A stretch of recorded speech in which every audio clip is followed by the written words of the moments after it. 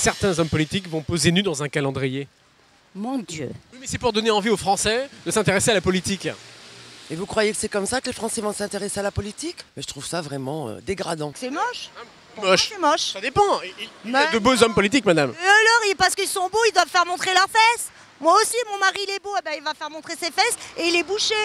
Ah ben, je vais dire mon mari à David, David, mets le, juste le tablier puis montre tes fesses à tes clients. Bah, c'est n'importe quoi. Pourquoi n'importe quoi? À quoi ça ressemble?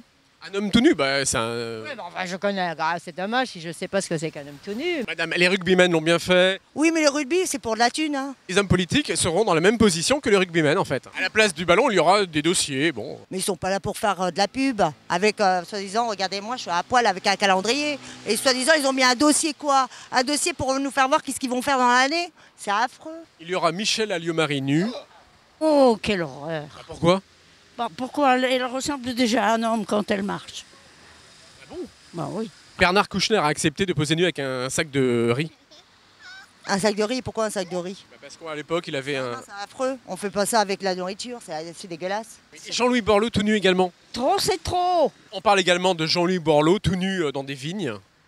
Ah non, quand même pas en train de cueillir son raisin et tout? Oui. C'est moche. Pourquoi moche, madame? Mais non, il y a une question d'hygiène quand même. Une grappe de raisin? D'accord. Bah oui, bah forcément pour euh, cacher... Comme vous dites, une petite grappe de raisin. Comment vous le savez? Parce qu'à mon avis,